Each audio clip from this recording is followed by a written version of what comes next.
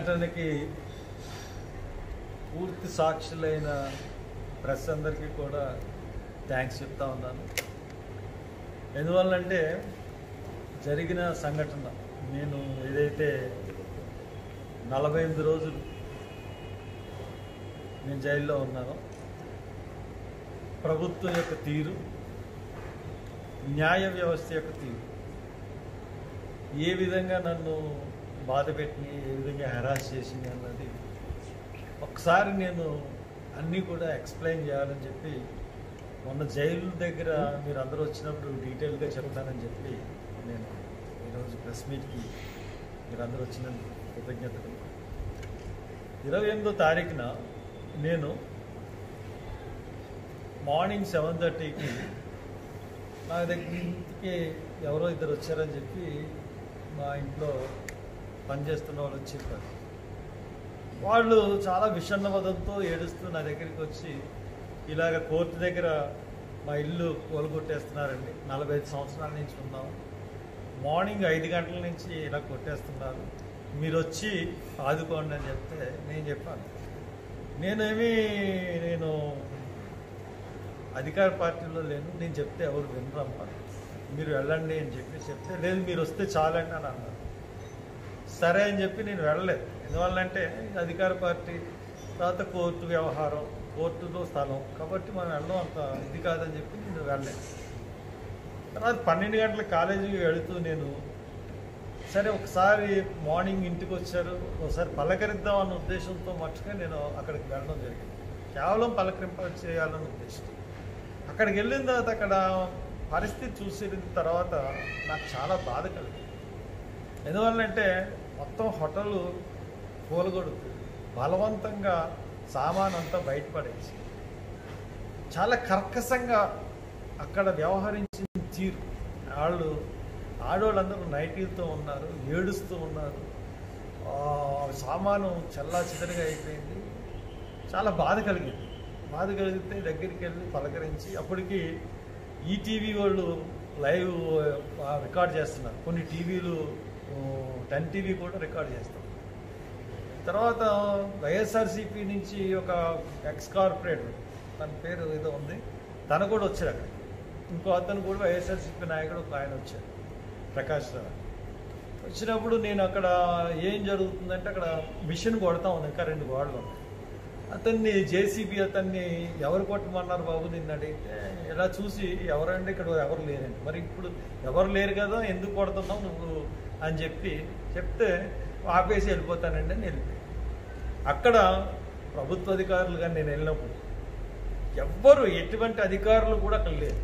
అప్పుడు వాళ్ళ దగ్గర ఎందుకు కొడుతున్నారంటే ఎవిక్షన్ ఆర్డర్ తీసుకుని అది చదివాను చదివినప్పుడు దాంట్లో ఏముందంటే వీళ్ళకి ఆల్టర్నేటివ్ సైట్ కల్పించి వీళ్ళు ఖాళీ చేయించమని హైకోర్టు ఆర్డర్ ఇచ్చింది. అది ఆ రోజు శనివారం.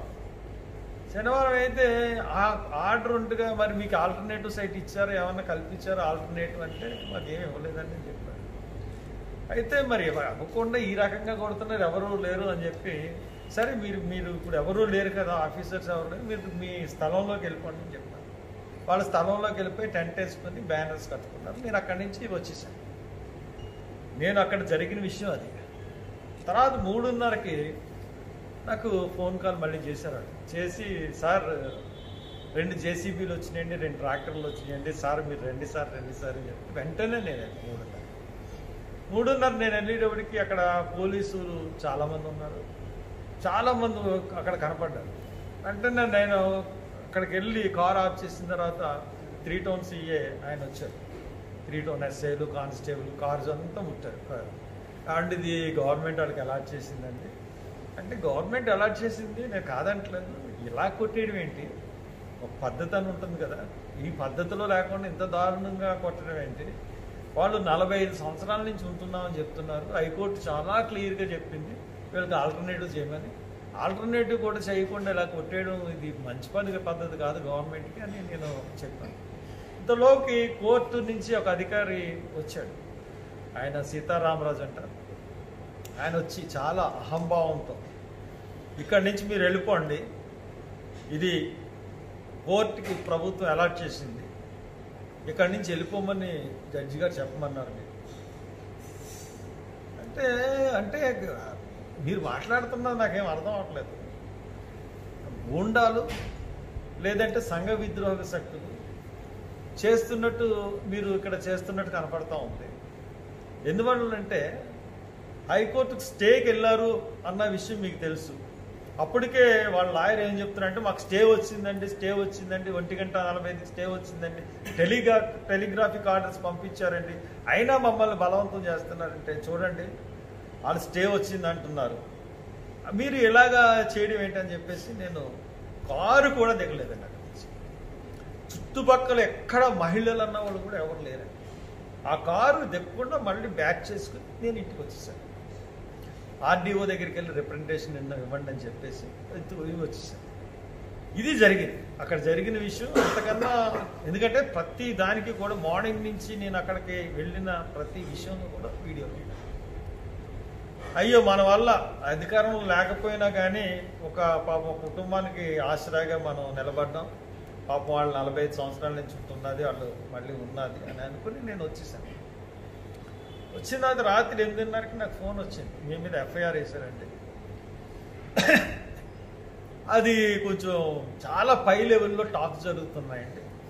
ఎట్టి పరిస్థితుల్లోనూ మిమ్మల్ని అరెస్ట్ చేయాలని చూస్తున్నారండి. వాళ్ళ ఉద్దేశం కూడా సెలవులు ఉన్నాయండి దసరా వెకేషన్ ఎందుకంటే ఇది సెప్టెంబర్ ఇరవై ఎనిమిది తర్వాత జరిగింది జరిగిన సంఘటన. ఇరవై తొమ్మిది ఆదివారం. ఆదివారం తర్వాత ఇంకా వరుసగా సెలవులు వచ్చినాయని మీకు బెయిల్ ఇవ్వకుండా చేయాలని ప్రభుత్వం చాలా గ- గట్టిగా ఉందండి అని పోలీస్ డిపార్ట్మెంట్ నుంచి నాకు ఇన్ఫర్మేషన్ వచ్చింది. ఇరవై తొమ్మిదిన నేను వెంటనే పన్నెండింటికి నేను బయలుదేరి వెళ్ళాను. వెళ్ళినప్పుడు పోలీసులు వాళ్ళతో వాళ్ళ దగ్గర చేతిలో కాగితం లేకుండా నన్ను ఆపాలని చూశారు. మీరు కాగితం ఉంటే నేను సరే చెప్పు ఆగుతాను కానీ అని చెప్పి నేను వెళ్ళిపోయాను. వెళ్ళిపోయిన తర్వాత ప్రభుత్వం యొక్క ఉద్దేశం చాలా స్పష్టంగా నాకు అర్థమైంది. ఎందువల్లంటే పోలీసులు కేసు పెడతారు ప్రభుత్వం అరెస్ట్ చేస్తుంది కోర్టు విచారణ చేస్తుంది. ఇక్కడ హైకోర్టు ఆర్డర్ని నేను నిలబెట్టాను. హైకోర్టు ఆర్డర్ని హైకోర్టు భంగం కలగకుండా బాధితుల తరపున వాళ్ళకి న్యాయం చేశాను ఇక్కడ నేను. అన్యాయం చేయలేదు కోర్టుకి ఎక్కడ కూడా వ్యతిరేకంగా కూడా నేను ఇక్కడ ప్రవర్తించలేదు. హైకోర్టుకి వ్యతిరేకంగా కూడా నేను ప్రవర్తించలేదు. అటువంటి పరిస్థితుల్లో నన్ను అంటే ఖచ్చితంగా ఒక మానసికంగా కానీ శారీరకంగా కానీ ఇబ్బంది పెట్టాలన్న ఉద్దేశం ప్రభుత్వానికి ఉందని తెలిసినప్పుడు మటుకు నేను ఇక్కడి నుంచి వెళ్ళాను. ఇక్కడి నుంచి వెళ్ళిన తర్వాత నేను నేను ఢిల్లీ వెళ్ళి అక్కడ వెంటనే అక్కడికి అంతకుముందే నా ప్రోగ్రాంలో ఉంది ఢిల్లీ వెళ్ళాలని. కారణం ఏంటంటే కచ్చులూరు బోటు ప్రమాదం. కచ్చులూరు బోటు ప్రమాదంలో మీ అందరికీ తెలుసు. ఎందువల్లంటే కచ్చులూరు బోటు ప్రమాదంలో నాకు ఒక అమ్మాయి పేర్లు ఇప్పుడు అనవసరం. ఎందువల్లంటే వాళ్ళు దుఃఖంలో ఉన్నారు. మళ్ళీ వాళ్ళ పేర్లు మీకు తెలుసు ఆ పేర్లన్నీ. వాళ్ళ బ్రదర్ ఆస్ట్రేలియా నుంచి నాకు కాల్ చేసినప్పుడు వాళ్ళ ఇంటికి వస్తానంటే నేను హాస్పిటల్కి వెళ్ళాను. హాస్పిటల్కి వెళ్ళినప్పుడు అక్కడ అందరూ ఎదురుకుండా స్పీకర్ ఫోన్తో మాట్లాడినప్పుడు శివ అన్న అతను అంతకు ముందు బోట్ని వెలికి తీసిన అతను శివ. అతనితో మాట్లాడితే అతను చాలా స్పష్టంగా చెప్పింది ఏంటంటే చాలా అక్రమాలు ఉన్నాయండి బోట్లో. ఈ బోటుని మొదటే ఆఫ్ చేశారండి. తర్వాత ప్రభుత్వ అధికారులు అందరూ గవర్నమెంట్ ఒత్తిడి మీద రెండు గంటల తర్వాత మళ్ళీ చేశారండి. ఇప్పుడు బోటును తీయాలన్న ఉద్దేశం వీళ్ళకేమీ లేదండి అని అది చాలా స్పష్టంగా చెప్పినప్పుడు నేను అక్కడ అతను వెంటనే నేను ఖర్చులు అప్పటికే రెండుసార్లు వెళ్ళాను అప్పటికే నేను ఆ, బాధితుల్ని పరామర్శించాను. అంటే నేను గవర్నమెంట్ మీద మీ ద్వారా ఒత్తిడి తీసుకొచ్చాను.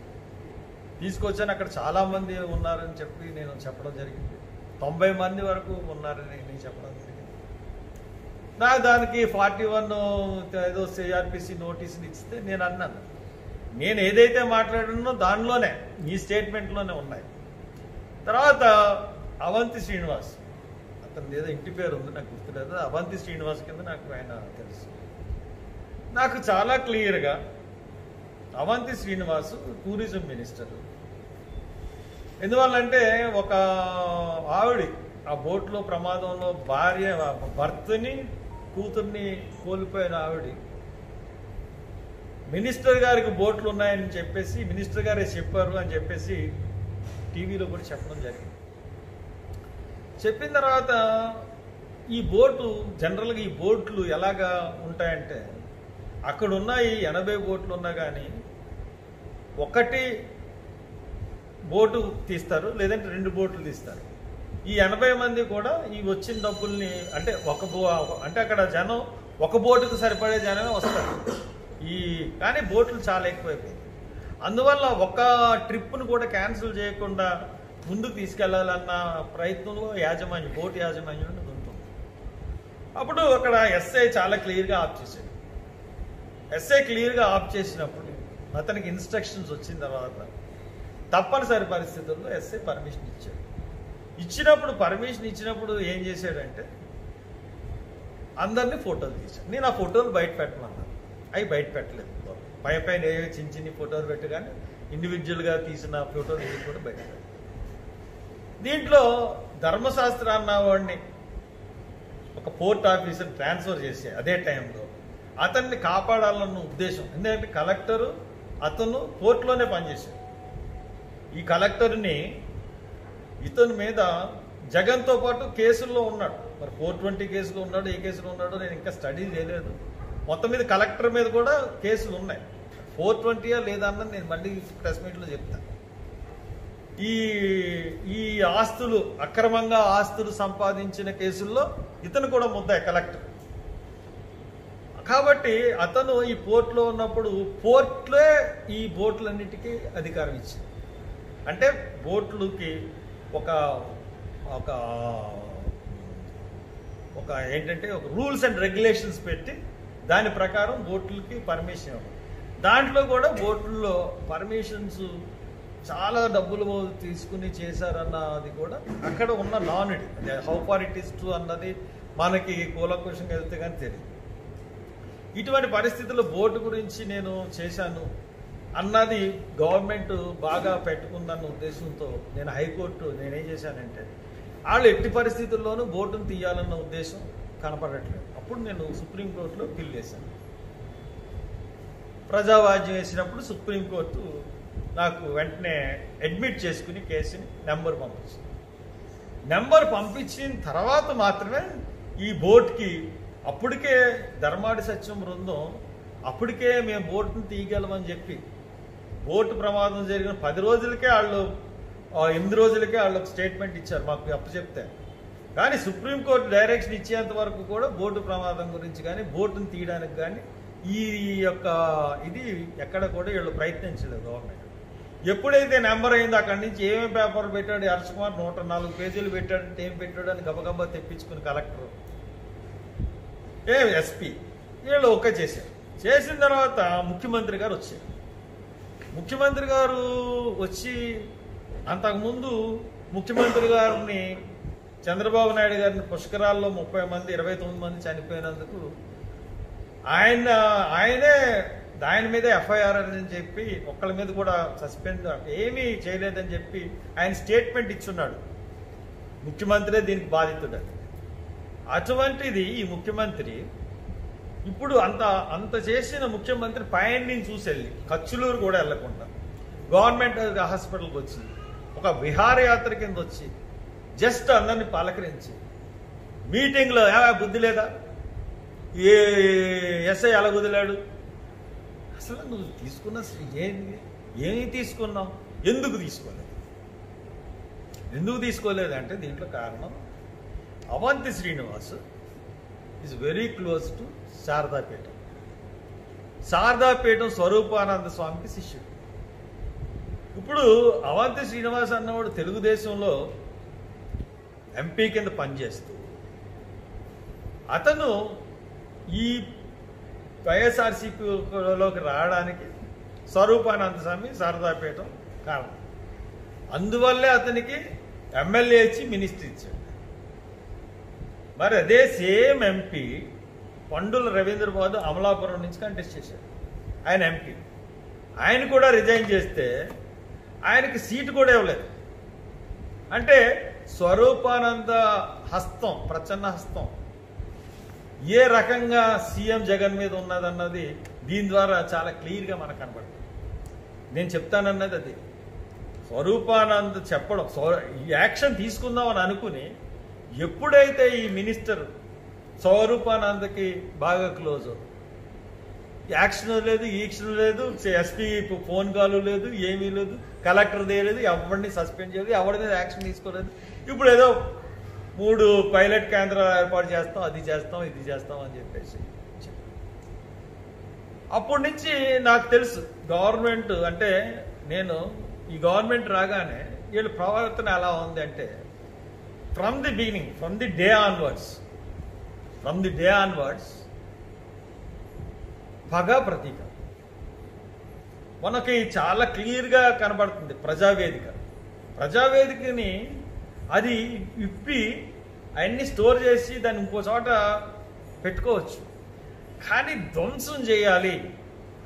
అది ఆ ధ్వంసం అన్నది అన్న అది చేస్తేనే అతనికి గుండెకి అతనికి ఒక సంతృప్తి. అంటే ఫ్యాక్షనిస్టులకి ఒక ఒక శాడిజంగా ఉన్న వాళ్ళందరికీ కూడా అటువంటి రకమైన సంతృప్తి ఉంటుంది. అందు గురించి అటువంటి ధ్వంసాన్ని చేశారు. అటువంటి మెంటాలిటీ ఉన్న మనిషి పరిపాలిస్తున్నాడు.